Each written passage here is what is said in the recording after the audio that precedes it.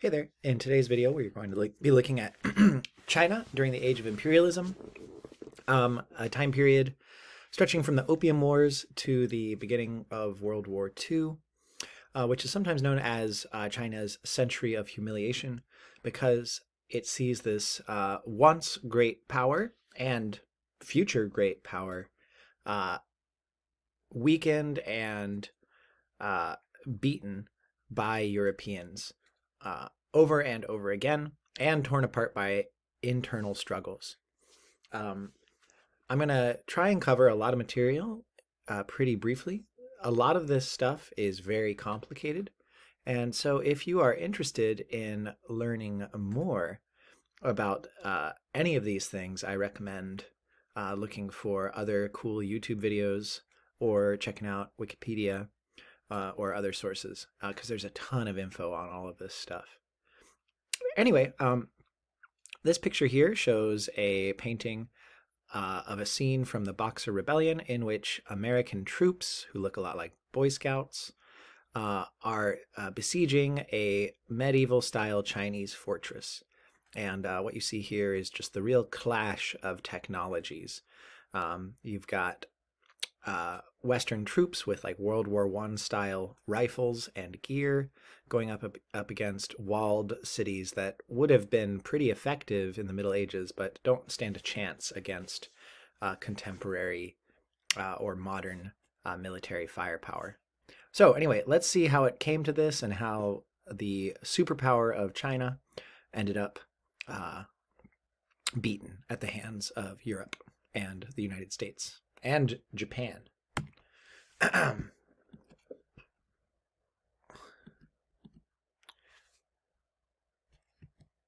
All right. So, uh, it's important to remember that before the age of imperialism, China was an incredibly powerful state. Um, during this time period, China was ruled by the last of the Chinese dynasties, at least for now. Um, and this one is known as the Qing dynasty. Uh, the Qing dynasty was founded by nomadic uh, peoples from the region of Manchuria up here in uh, northeast China. Um, and these folks went down and conquered the Chinese heartland as well as Mongolia and Tibet and some of these Central Asian um, territories in the steppe. So, um, anyway, the uh, Qing dynasty did a whole lot of stuff, and we've already learned about them in previous classes. Uh, but one thing to note during this time period is that the Qing dynasty is undergoing uh, explosive uh, population growth, partially due to the uh, introduction of new crops made possible by the Columbian Exchange, including sweet potatoes, which were particularly important. You don't need to write that down. Um, however, uh, one result of this super rapid uh, population growth was that the Qing dynasty was experiencing a lot of internal pressure and there were a lot of people looking for land to farm, and there wasn't a lot of land to go around. Um, the Qing also were skeptical of trade with the rest of the world, especially with Europeans. Um, and for this reason, they limited trade to a single port city um, down here in southern China known as Canton. And for China, which was the largest uh, state or country in the world at this time, with a population of about 200 million, allowing only a single port was um, a huge restriction on the amount of trade that China could do with the rest of the world. Um, Also, by restricting trade, it meant that the Qing dynasty was not receiving as much information about like new goods and new ideas around the rest of the world. And so, over the course of uh, the Qing dynasty from 1600 to 1800, China begins to fall behind other countries technologically, especially Europe, which is advancing very rapidly during this time period. So, the first uh, kind of moment where China is clearly falling behind and is starting to get pushed around by Europe is uh, the Opium Wars. Uh, there are two of these, and the first one happens in 1839, and this is kind of the first wake up call for China that they are going to need to change something big. Um, so, uh, how did the Opium Wars start? Well, what was going on is that the British through the British East India Company were trading uh, a lot with China. Um, and one of the products that they found sold very well in China was the highly addictive drug opium.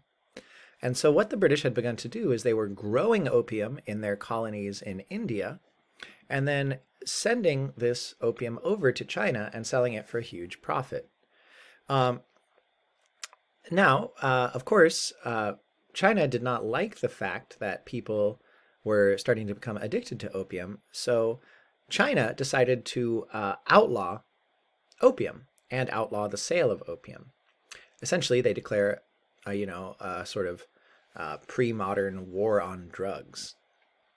Uh, so uh, anyway, they send a guy down to Canton, and this guy um, goes into the offices and warehouses of the British East India Company, and he seizes something like 30,000 chests of opium and has it all thrown into the ocean, probably getting all of the fish very high.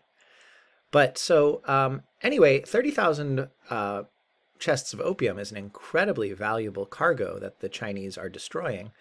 And the British East India Company is very unhappy about this. So they go to the British government and tell the British government that the Chinese government has stolen their property and is uh, basically threatening British trade. So the British respond to this by declaring war on China, and they send down a squadron of uh, Navy ships. And the very advanced British naval ships, which have steam engines and highly accurate guns, totally blows the Chinese fleet out of the water. It is not even close. Um, and after destroying the Chinese Navy and bombarding a couple cities, the British force the um, the British are able to force the Qing dynasty to sign a humiliating treaty. Um, this expands the number of ports that Britain is allowed to trade in from one to five. It also gives the British a island off the coast of China, which is going to become a major trading port and that is the island of Hong Kong. Um, it also forces the Qing dynasty to lower their tariffs so that way they can uh, the British can import goods cheaply, and it forces them to pay a fine of 21 million ounces of silver, which is a lot of silver. Um, as a result of this treaty, other European powers start coming into China and demanding similar treaties for themselves. Um, China is not in a position to resist, and so pretty soon they have given up trading rights to every European power that is, uh, France, Germany, uh, Britain, uh, the United States, not Europe, I know. Um, and uh, as a result of this, um, and the Second Opium War, which they also lose, China basically loses control of trade. And opium becomes a major social problem as more and more people within China begin to get addicted to opium. And the basic result of all of this is that China ends up getting divided into uh, something known as spheres of influence. And uh, so a sphere of influence is a territory where a particular government um, has the ability to trade and basically control that region for its own interests. Um, and they send a whole bunch of products, including opium, and they also send uh, Christian missionaries to try and convert Chinese people to Christianity. Um, and so China is not conquered, it's not overthrown. The British don't set up a Chinese colony. Instead, they set up an informal imperial system where they leave the Qing dynasty in power, but uh, basically get to make as much money as they want while allowing the Qing dynasty to deal with all the problems. So, for example, Britain's getting everybody addicted to opium, and it's up to the Qing dynasty to deal with the social issues created by this. Okay, so that's the spheres of influence. So this is the first major blow to China, is that they basically lose control of foreign trade. Next up, China is going to suffer from a major rebellion. Um, remember how I mentioned that the British were bringing in uh, missionaries to try and convert people to Christianity? Well, this has one really weird effect, and this and that this guy um, named Hong Xiuquan, uh, who becomes basically a cult leader, uh, claims that he is the uh, brother of Jesus. Um, so basically, that he is the brother of Jesus, born on the other side of the world, and that he is here to bring about a Christian kingdom in China. Um, this is a popular message, possibly made uh, more popular by the spread of Christian ideas by uh, European missionaries. And this allows him to raise a huge army and following. And uh, this army marches around southern China and eventually manages to capture a number of important Chinese cities, including the major southern capital city of Nanjing, which is um, just a massive city, probably around like 500,000 or a million people. Um, once he controls this area in southern China, which you can see here, he institutes a sort of like new Christian type of regime. He bans alcohol and opium, but he also begins banning traditional Chinese practices, including the um, tradition of foot binding and polygamy. Uh, so it's both kind of anti Chinese tradition and anti European um, which is funny because you know they did convert to Christianity, but it's a different type of Christianity than what you'd normally expect. Okay, so um, uh, the uh, the Taiping rebels controlling this base in the south seek to overthrow the whole rest of the um, Chinese state, but they uh, fail to do so. Uh, they are eventually defeated by the Qing dynasty, but not before uh, 20 million people die, making this the third deadliest conflict of all time, behind only the Mongol conquests and World War II. This is a wildly violent and destructive conflict that goes a long way towards weakening the Qing dynasty um, and uh, setting the stage for all of the other chaos that is to come. And uh, uh, sorry, those slides are out of order. Uh, but so after the after the uh, Taiping Rebellion is over, and after the Second Opium War, China decides that it's time to try and modernize. That whatever they're doing right now isn't working, and maybe they should try to copy some of the stuff that Europe is doing in order to make themselves more powerful. This is called the self-strengthening movement. Um, or, as one Chinese official described it, uh, they wanted to use the barbarians' superior techniques to control the barbarians. And so basically what's going on here is China is going to try and modernize its army. That way it can fight Western powers and control its territory. Um, and their main focus here is in obtaining uh, Western military technology. So new fancy cannons, possibly like machine guns, steamships, rifles, stuff like that. However, this campaign is not going to be very effective because by only focusing on military technology and not focusing on deeper economic or political changes, China is not going to be able to bring about the transformation needed. And basically, um, the reason for this is that modern militaries are expensive and complex. And you cannot really support a modern high tech military without also having an advanced economy and a highly organized political system, which the Qing dynasty does not have. So basically, all they end up doing is uh, mail ordering a bunch of European technology and then kind of putting together a little model European army um, that is not very powerful, not very well equipped, and um, easily destroyed. And once that is destroyed, there's not going to be anything left to replace it. You can see a picture here of some high ranking Chinese officials trying to put together some uh, Western European technology, um, and it doesn't really look like they have a great idea what they're actually doing. So, um, the first test of the self strengthening movement is going to happen during the Boxer Rebellion. And the Boxer Rebellion starts in 1899 and at first, it is against the Qing dynasty and against Europeans. It is started by a bunch of kung fu practicing monks, yes, really, who believed that they had invented a new type of kung fu that could deflect bullets and um, basically allow them to defeat European uh, invaders. Uh, this is a powerful movement that's able to draw a lot of people to it. Um, and at first, the Qing dynasty opposes these guys, but then they decide to switch sides. And the Qing dynasty instead joins forces with the rebels in an attempt to destroy the barbarians, aka Europeans. Um, so, uh, in response to this, the European powers send over um, a sort of coalition army.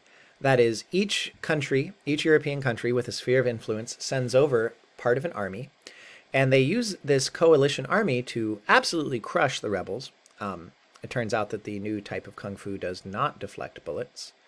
And uh, then to occupy the major cities of uh, China, including the northern capital city of Beijing. Uh, this is an absolutely crushing blow to the legitimacy of uh, crushing blow to the legitimacy of the Qing dynasty and demonstrates that they are totally incapable of defending themselves from European powers. The next blow, uh, kind of adding uh, just sort of uh, injury after injury to the Qing dynasty, is uh, the Sino Japanese War. And uh, this happens when Japan decides to invade into um, Korea and claim Korea for Japan. China uh, objects to this because Korea had always been a Chinese vassal. Um, and so China goes up against Japan, and they get completely smacked by Japan as well.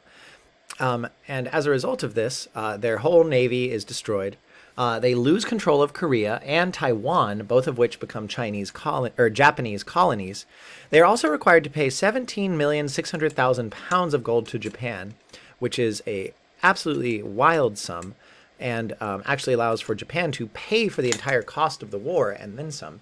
And once again, results in the humiliation of a Chinese dynasty and showing that uh, China cannot even go up against other rival Asian powers. So, as a result of these continual humiliations and military defeats, the Qing dynasty is going to eventually collapse. I don't want to get into the details of the revolution that overthrows the Qing dynasty, but what I do want to talk, draw attention to is this guy, uh, Sun Yat-sen. He's a Western-educated um, kind of revolutionary leader who wants to see China reinvented as a modern nation state rather than an old-fashioned multicultural empire. Um, so, uh, in 1911, 1912, he, along with a bunch of other people, uh, lead a revolution to overthrow the Qing dynasty, which is successful. And then they, he goes on to establish the Republic of China, and he becomes the first president. Um, and he's got a lot of good ideas, but unfortunately, he doesn't have a lot of control over China. In, during the revolution, various groups rose up and basically started doing their own thing. Um, and so, while Sun Yat sen controls some of the major cities, the countryside is largely controlled by um, bandits and warlords who carve out their own little territories. And then also there's a rising communist movement during this time period as well. Um, and so there's kind of a three-way struggle going on between these different groups, warlords, communists, and republic, uh, Republicans, led by Sun Yat-sen, when Japan decides to invade again in 1931. So at this point, China is very divided and still pretty weak. And Japan, which is now fully industrialized, industrialized invades and quickly takes over Manchuria, uh, the northwestern part of China, and then from there marches down the coast and begins conquering uh, almost all of China's major cities. This is an incredibly destructive uh, military campaign, and it results in a huge portion of the total number of deaths caused in World War II. Um, uh, historians today put it somewhere around 20 million deaths. Uh, some people have even gone so far as to suggest that the Japanese were committing genocide during this invasion. Uh, the worst atrocity happened uh, in the city of Nanjing, uh, where the Taiping controlled uh, 100 years earlier. Um, and this city, uh, what happened to the city is sometimes referred to as the rape of Nanjing because the city was absolutely demolished and the people there were uh, killed and imprisoned and tortured and in some cases raped. Uh, so anyway, uh, Shanghai faces a similarly destructive end as well. And so ch- this is kind of the low point for the Chinese as they are they are defeated, their dynasty has collapsed, and it looks like uh, that they are almost on the way to becoming an imperial uh, holding of the China or of the uh, Japanese Empire. here are some uh, pictures of Japanese war crimes. Here's a baby next to a blown up building, and here is a Japanese soldier about to behead a Chinese prisoner of war. Um, and so that is what happens to China. We're going to look at China's resurgence after World War II, of course, and look at how they've returned to being a major power on the world stage. Uh, but for now, I want you to think about what China did wrong and how their attempts to modernize were very different from Japan's successful attempts to industrialize in the 19th century. All right, cool. Thanks for listening. Bye.